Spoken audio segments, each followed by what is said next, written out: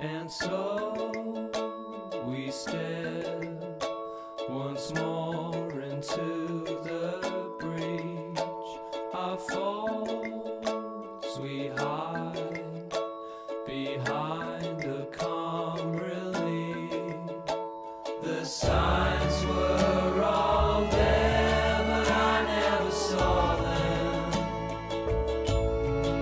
them. Just kept moving.